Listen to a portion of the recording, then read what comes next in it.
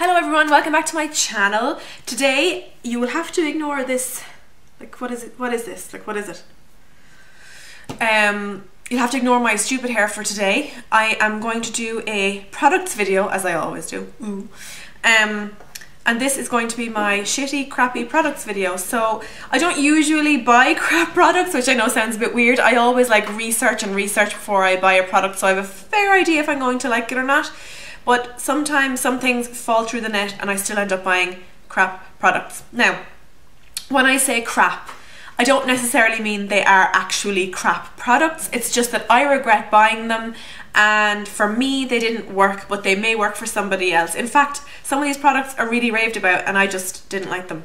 So I'm going to just jump straight in and I'm going to pick out one product that gets, so much love in the US and the different equivalent here gets so much love and I think I'm the only person to say I regret buying this but this is the CoverGirl Outlast Stay Fabulous 3-in-1 foundation and everyone raves about this. Here on this side of the pond we have the Max Factor 3-in-1, I think it's Facefinity 3-in-1 foundation which is I think the exact same as this but I really regret this because although it provides lovely coverage, a lovely finish, the colours are lovely, it's really, really cheap. I think there was a six or seven dollars.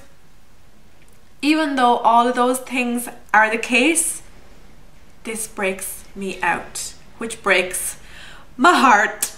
It really, really upsets me that this stuff breaks me out. Hmm.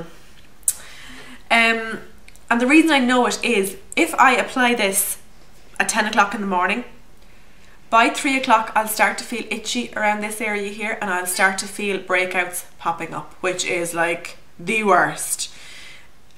And when I take it off that night, I'll sure enough, I'll see breakouts starting, acne starting around my chin area. And then I'll, it'll take me a week or so to recover from this. And then I'll go, oh, okay, I'll try it again. Try it again. The exact same thing happens. So I can't wear this, which is crap. Mm. Next product is a makeup setting spray and this is the Skindinavia No More Shine makeup finishing spray. This is not my doing, this is the way I got it. The packaging came all kind of bubbled. Now, I ordered this online from the Skindinavia website along with the original makeup setting spray and I thought because I have really oily skin the No More Shine would be the one to get. Um, the original formula controls my oil a hell of a lot better than this one does. I don't notice any difference in my makeup lasting or my um, oily T-zone when I use this at all. So I may as well be spraying water on my face. So now I did use it up because it was kind of expensive. It was equivalent to maybe 17 or 18 euro, but I still used it up, but I would not repurchase this. I definitely repurchase the original again, just not the No More Shine. Maybe it's just me. Next product is one that I don't really see talked about anymore on YouTube, but when it was big, it was big. This is the Hard Candy Glamouflage Concealer. And I'm going to show you how heavy coverage this is. It's got a little squeeze top tube. Like you can see I put on like the tiniest dot there. Uh, sorry. The coverage this provides is absolutely insane. Like it's like insane. I think they market this as a tattoo cover up. The problem I have with this concealer, although the coverage is insane and it will cover up whatever you want it to cover up on your face, it never seems to set on my skin. So even if, you know, if I put on my MAC Pro Longwear, I'll apply it to my blemish and maybe I'll leave it two or three minutes, blend it in with a finger or a brush, and then I just pat powder over it. That's it set. It's not going to move. Even when I powder this, it still seems to be quite movable and kind of greasy. It's almost like it's too creamy to do its job properly. Also, it's a no-go for under the eye area. Not for me anyway, not for anyone who has any sort of wrinkles or starts of any wrinkles. This will accentuate every single line. I've only used this five or six times. I have it in the colour light. Next is a nail polish and this is, oh, when I saw this I was like, oh my god, it's so pretty. It's this absolutely gorgeous milky blue toned baby pink and this is the Sally Hansen Salon Effects in the colour Shall We Dance. Sorry for blinding you there. And if you look at the bottle, like that is that is like a gorgeous colour. That is like beautiful. And when I looked at the brush, I was so happy because the brush is one of those wide ones. So it makes life really easy for point painting your nails. The problem I have with this is when you apply a coat, it just looks like clear nail polish. You put on a second coat, It looks slightly tinted. Third coat, fourth coat, fifth coat. When you put on your fifth coat, you get this colour. And as you know, as anyone knows who paints their nails, five coats will never dry and it will be so thick and gloopy on your nails.